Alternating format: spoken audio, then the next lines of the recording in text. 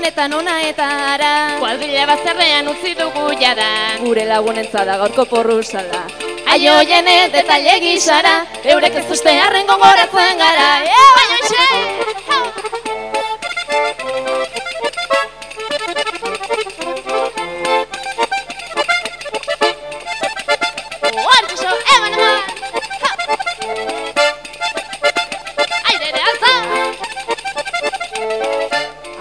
Agian gutza zantzi dira honez gero Arren horrelakorik etzazu espero.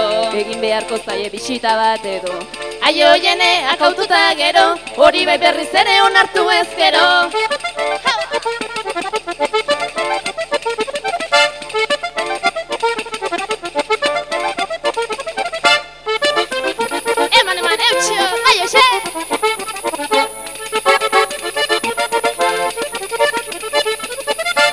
Baina gure bidean goaz pausoz pauso Pasa ondotik hainbat herri eta auzo.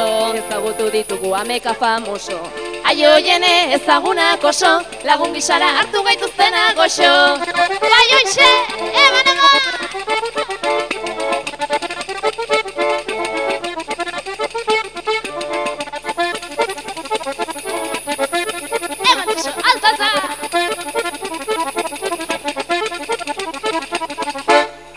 bete zaigu eta olakotan Denak pozik ustea zaila da askotan. Baina gu egin nahi genuke hontan.